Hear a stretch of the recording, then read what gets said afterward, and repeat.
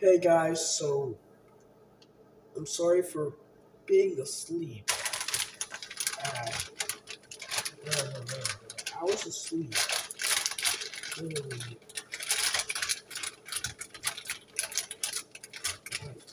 My tablet was out of percent, so I decided to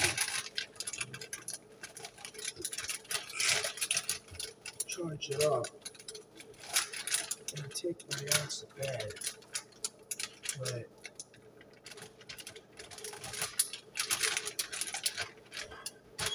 now I'm awake and right now I'm making burritos.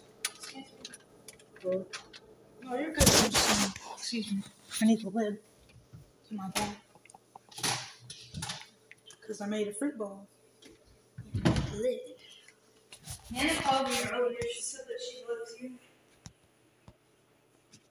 I love her too.